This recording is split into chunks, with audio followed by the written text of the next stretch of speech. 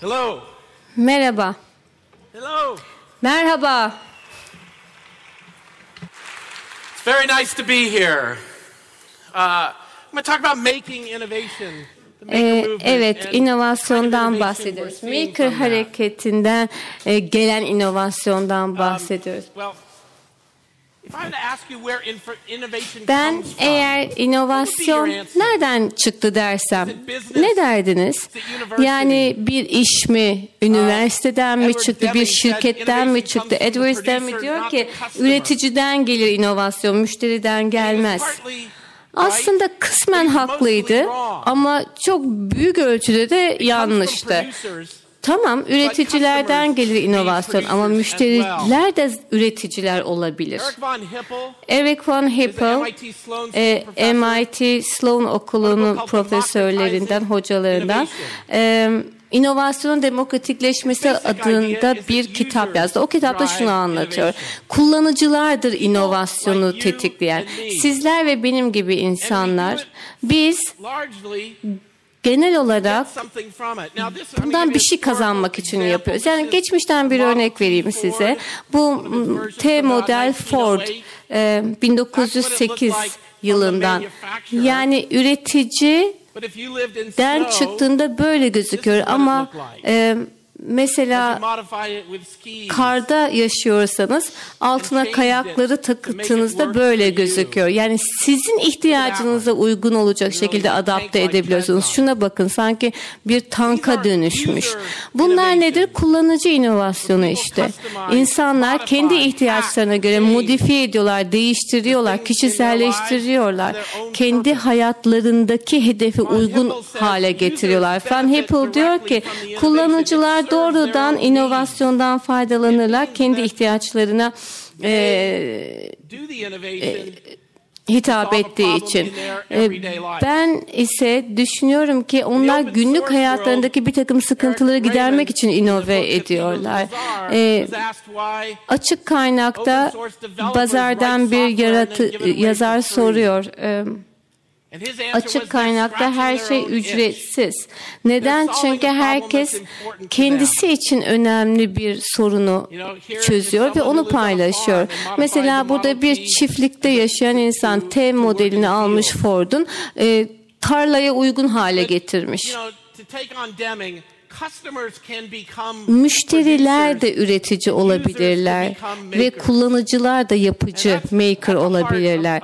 Ve işte bütün bu maker hareketinin temelinde yatan fikir bu.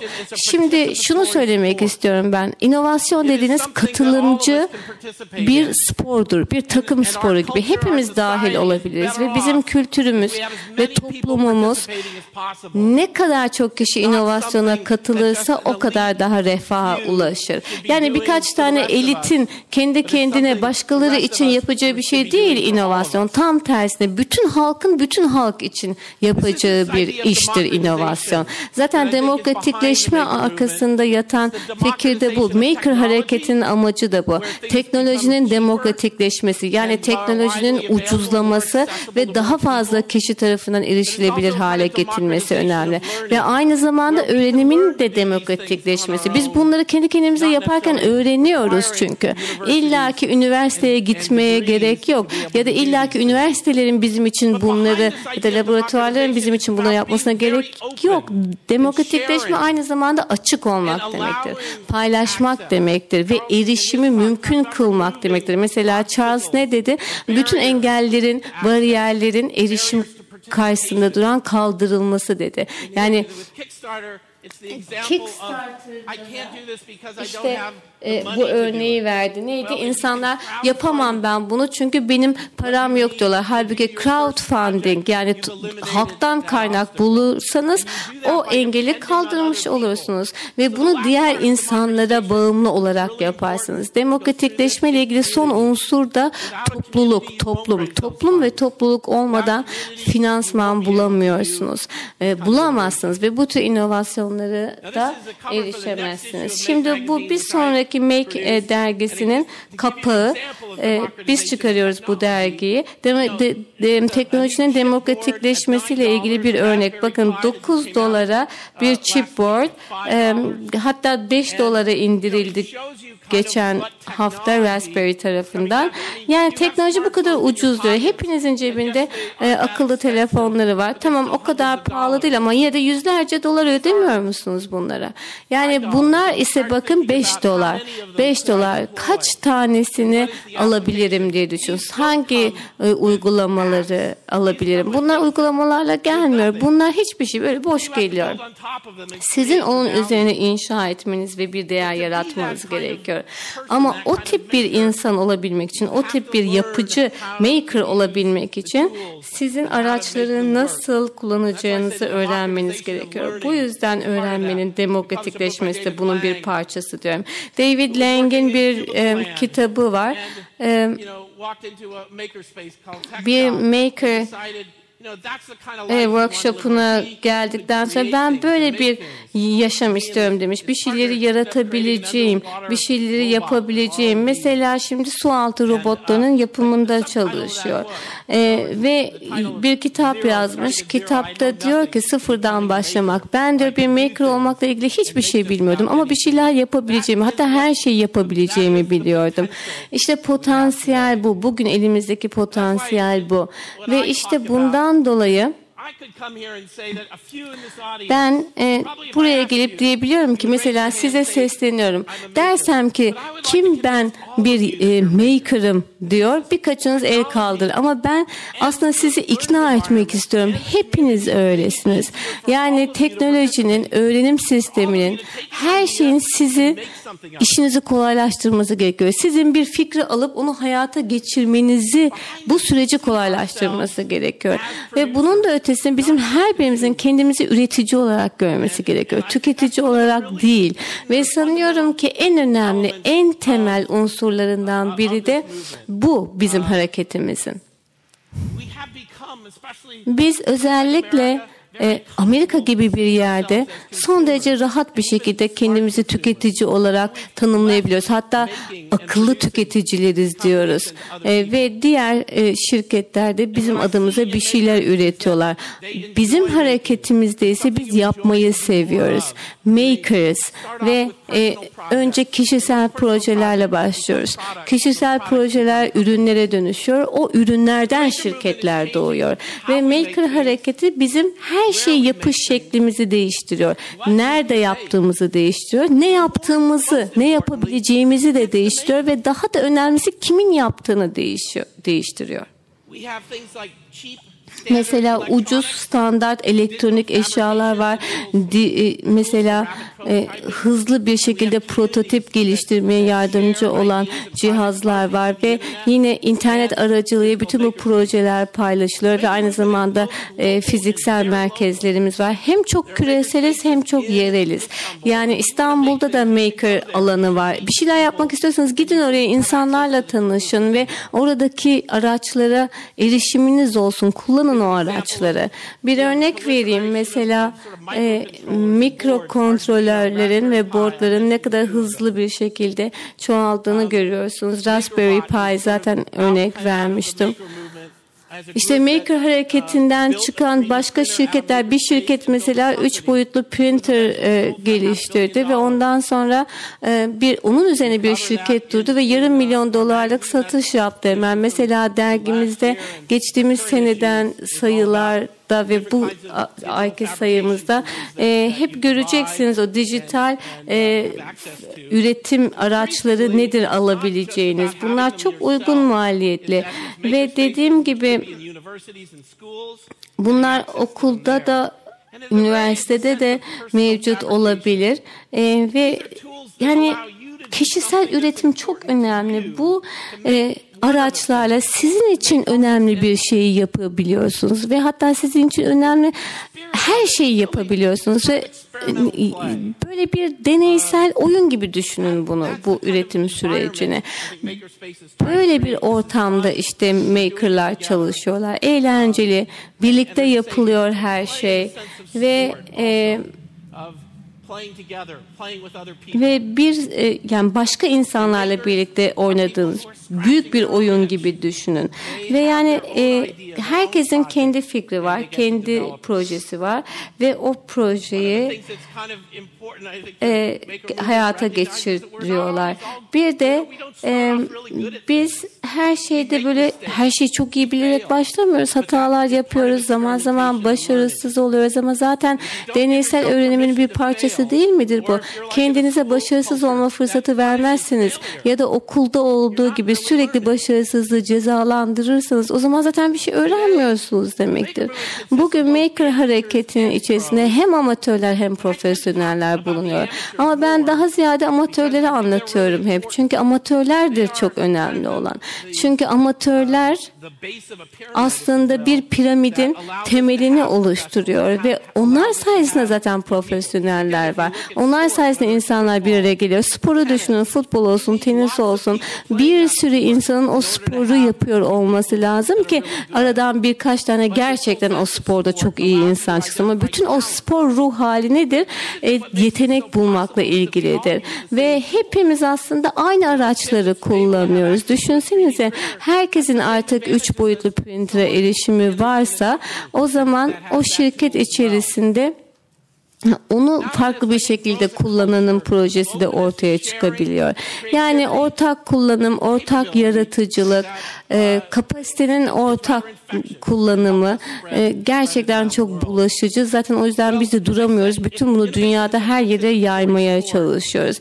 Dediğim gibi inovasyon katılımcı bir spor. E, bizim olimpiyatlarımızda Maker Fuarı. 10 sene önce biz bu işe işe yola çıktık ve İstanbul'da da gerçekten e, harikulade fuarlar. En büyükleri de San Francisco'da oluyor. San Francisco'da son 10 yılın en büyüğünü yaptık geçen Mayıs'ta. 140 bin kişi katıldı. 100 ee, bin kişi Shenzhen'de e, Çin'deki fuara satıldı. New York'ta, Roma'da, İtalya'da her yerde fuarlar düzenliyoruz. Bütün dünyada hızla yayılıyor. Şöyle bir fikir vermek istiyorum.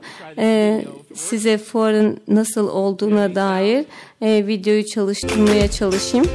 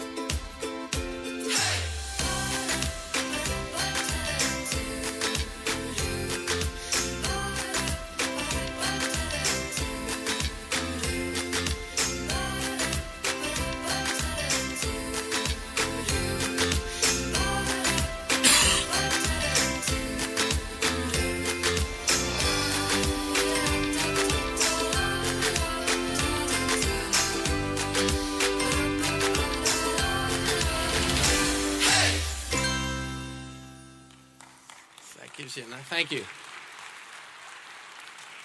Gives an example of, of Teşekkürler. Evet Maker fuarları işte bu şekilde oluyor. Çok eğlenceli, çok böyle aile odaklı.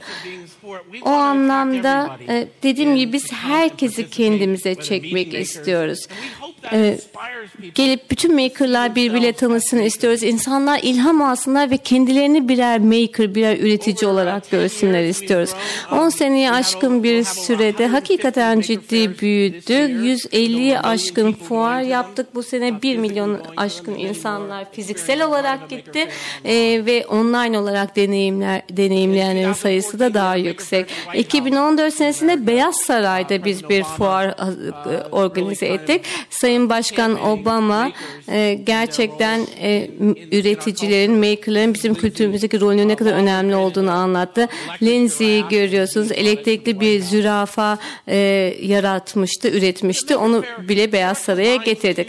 Yani Maker Fuarı aslında çok temel iki şeyi bir araya getiriyor. Çok da orijinal değil bunlar. Birincisi uygulayarak öğrenme. Yani el, elleriniz üzerinde öğrenme. İnsanların angajı olması. Sadece bir şeyleri düşünmesi değil ama yapması. İkincisi de inovasyon e, ruhunun ortaya konması, paylaşmak, konuşmak, insanlardan fikir almak, fikir alışverişi yapmak. Yani genelde böyle çok ham halde bir ürünle çünkü başlıyor her şey. İnsanlar konuşa konuşa, potansiyel müşterileriyle tanışa tanışa o fikri geliştiriyorlar. Bakın Joe Olson e, bir inovatör ve aynı zamanda üretici. E, kendisi tekerlekli sandalyesini yani manuel olarak kullanıyordu. Çok da fazla bir e, kontrolü yoktu. Yani bir joystick e, vardı. Dedi ki ben yeni bir e, eldiven gibi bir şey tasarlayacağım. Elimi üzerine koyacağım ve e, daha kolay bir şekilde süreceğim tekerlekli sandalyemi. Yani kendi ihtiyacına e, istinaden harekete geçmişti. Sonra tasarımcılar bunu üç boyutlu bir şekilde print ettiler ve ondan sonra bunun çok ciddi bir pazarı olduğunu gördü. Başkaları da e, satın almak istedi eğer ki onunki gibi bir çözüm istiyorlarsa. Ve bakın başka bir örnek bu hanımefendi de daha Maker Fuarı'na gelmeden sadece 9 hafta önce bir 3 boyutlu printer görmüş ve ayakkabı print edeceğim dedi. Ayakkabıyı görünce belki size çok cazip gelmeyebilir ama iki fikir vardı aklında bu konuda başarılı olmasını sağlayan. Birincisi 3 boyutlu printer daha e, gelişecek. Böylece benim ayakkabılarım da daha iyi gözecek zaman içerisinde. Ama ikinci olarak ben sizin ayağınızı sken edeceğim. Taramasını yapacağım ve tam ayağınıza uyan mükemmel ayakkabıyı yapacağım. E, ve e, gerçekten işte e, fikrin orijinali böyle e, orijinali buradan geldi. E, bakın bu bir e, Parisli heykel tıraş. InMove adında bir üç bir robot inşa etti e, ve online'a koydu. Başkaları da robotu yapabilir. Bu robotları Maker Fuarı'nda her yerde görüyorsunuz. Yani ne olmuş oluyor bunun sonucunda? İnsanlar e, protezler mesela yaratıyorlar. Mesela bu robotun elini ve kolunu kullanıyorlar. Yeni bir protez uzuv geliştirmek için. Bunu zaten Make e, dergisinde de anlattık. E, yani işte hem dijital üretim hem e, ucuz elektronik ve bunu yapanlar dediğim gibi üreticiler değil insanlar yani uzvu olmayan bir insan kendisi kullandığı protezden daha iyisini isteyen bir insan bunu yapan. Geçen sene Maker Fuarı'nda bir moda şovumuz da vardı. Genç e, kadınlar e, üç boyutlu protezler giymişlerdi ve bunun defilesini yaptılar. Yani sadece işlevsel, fonksiyonel değil aynı zamanda estetiğine de odaklanıldı. Doktor Earl bir e, çocuk e, kardiyoloğu e, Kentucky'den ve diyor ki bir çocuğun kalbinde ameliyat yaparken herkesin e, kafasına farklı bir fikir oluyor. Hatanın e, yani e, hastalığın nerede olduğu ile ilgili. Normal scan ediyoruz hastayı. E, şimdi scan ediyorlar. O skenden çıkan sonucu üç boyutlu printer'dan çıkarıyorlar. Kalbi olduğu gibi. O yüzden kalbin üzerinde daha ameliyata girmeden önce çalışıyorlar ve böylece ameliyatta çok daha başarılı oluyorlar dijital olarak kendi kazağınızı mesela yaratıp mağazanın içerisinde onu print edip alabiliyorsunuz. Yani bir fırına gittiğinizdeki gibi ya da düşünebiliyor musunuz? Mesela terziye gidiyorsunuz. Kendiniz bir desen yapıyorsunuz ve orada onu sipariş eder gibi mağazada bunu yapıyorsunuz. Yani o kadar yeni yolları var ki her şeyi yapmanın ve de bunu yerel bir şekilde yapmanın. Bakın bu çocuklardan bir örnek. Yine e, Londra'dan bir örnek.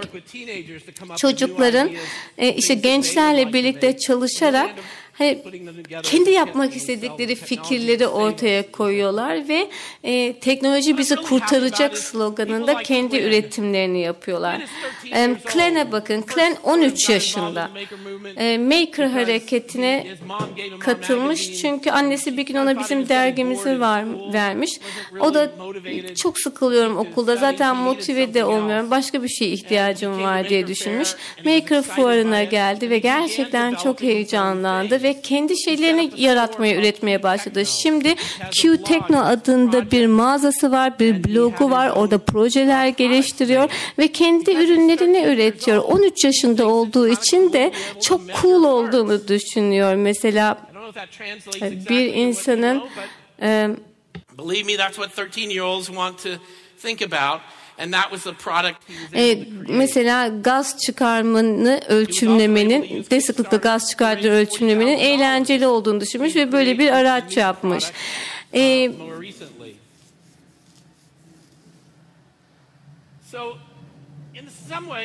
yani bir şekilde e, bu e, üretimle ilgili yepyeni kurallar var artık dünyada ve bunun işte demokratikleşmesiyle de çok ilgisi var. Çok heyecan duyuyorum ben. E, artık insanlar kurumların üzerine çıktı, şirketlerin üzerine çıktı. Daha fazla işbirliğiyle e, yapılıyor her şey ve her şey teoriden çok uygulamaya yönelik. Bu maker hareketinin etkisi de böyle bizim e, üzerin yani araştırmasını yaptığımız yani ekonomik etkisi, kültürel etkisi, üretimi etkisi e, çok ciddi boyutlarda ve biz her şeyi nerede üreteceğiz? Daha yerel üretmeliyiz odaklanıyor. Aynı zamanda da fiziksel yine toplum odaklı alanlarda yani mekanlarda insanları bir araya getirmeye odaklanıyor. Bir rapor hazırladık. E, şöyle kısaca bir özet yapmak istiyorum. Öyle olağanüstü bir potansiyel var ki e, odaklanabileceğimiz e, bütün bu e, farklı kaynaklarla pazarları birleştiriyor ve bütün bu fırsatları düşünürken kendi kurumlarımızı düşünüyoruz. Yani onların da bizim öğrenme, üretme ve tüketme alışkanlıklarımızı değiştirmeye odaklanması gerekiyor. Yani üç boyutlu printer'dan çıkan işte ayakkabılara baktığınız zaman e, ya da işte dronları düşündüğünüz zaman bunu görebiliyorsunuz. Evet, bunu da size göstermek istiyorum. Ee, sanıyorum ki Maker hareketi buraya doğru ilerliyor. Çünkü bir araya geliyorlar. Gerçekten diğer insanlar için önemli sorunları çözüyorlar. Bu San Francisco'da Maker e, fuarımız. Dediğim gibi birkaç ay önce. Mesela e, grup lar bir araya geliyorlar. Engelli insanların e, sorunlarını çözüyorlar. Hepsi bir arada. Bakın bunlar e, o bir hafta sonu boyunca yapılan çalışmanın sonucunda çıkanlar.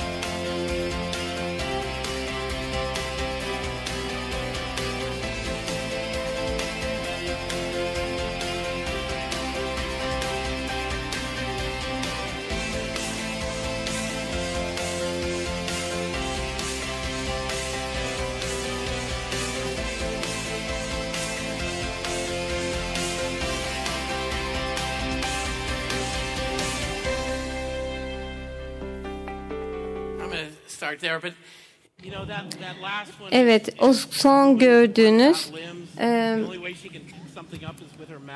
eli kolu olmadan doğmuş bir kadın. Sadece ağzıyla e, e, objeleri alabiliyordu. Böyle bir e, e, cihaz icat ettik onun için ve artık hayat onun için çok daha güzel. Yani bu her şeyin daha çok başlangıç noktası ama hayat eğer hepimiz kendimizi üretici olarak görsek o kadar daha güzel olacak ki lisede Sacramento, Kaliforniya'da bir lisede bir e, tahtada bir yazı yazılıydı. O zamanlar kimin söylediğini bilmiyordum ama onu okuduğum zaman demiştim ki eğer buna herkes inansa yani e, etrafınızda gördüğünüz her şeyin aslında sizden daha zeki olmayan insanlar tarafından üretildiğini düşünürseniz bütün, ve buna inanırsanız, ikna olursanız o kadar dünya değişik bir yer olur ki çünkü herkes bir üretici e, ruhuna bürünür e, ve bu da gerçekten çok önemli. Lütfen değişimin bir parçası olun, aramıza katılın, bu harekete katılın. Teşekkür ediyorum.